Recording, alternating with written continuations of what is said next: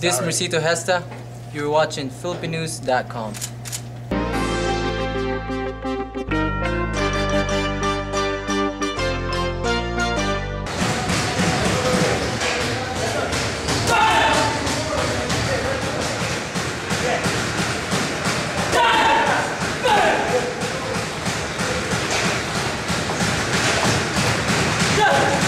Um, I'll, I'll be fighting in uh, in uh, February 22nd in uh, Kissimmee, Florida, um, against I believe Julian Rivera for um, original title. Um, so this is gonna be a 12-round fight.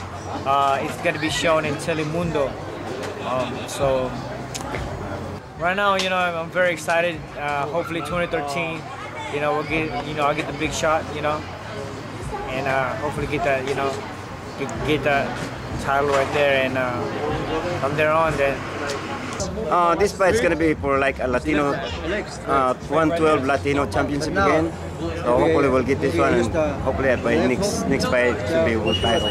um, I just want to thank you know all the people that uh, that supported me, you know, and and, and the, and the whole team, uh, Team Glenn Donaire, and uh, and guys, you know, please, you know, watch watch it, and I I believe you're gonna love it. Um, it's, it's gonna be a war, you know, and uh, it's gonna be shown in Telemundo again.